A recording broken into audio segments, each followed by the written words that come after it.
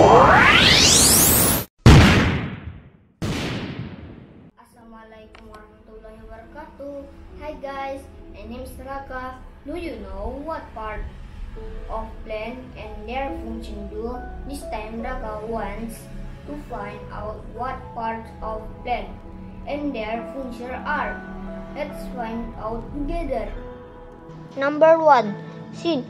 The first part of the plant is the seed. These seeds are found in the flower or fluid section of the plant. Number 2.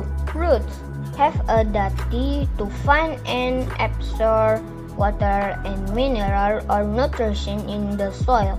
Water and these nutrition are a source of nutrition for a plant. Number 3. Leaf.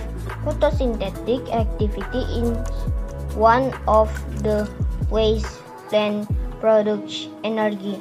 Number 4. Trunk.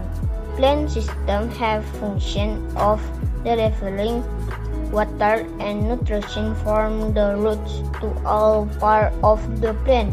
Number 5. Flower.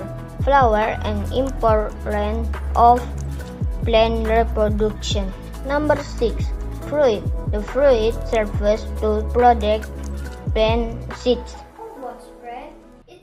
The function of the plant part. See you next time with Raka. Bye bye. Wassalamualaikum warahmatullahi wabarakatuh.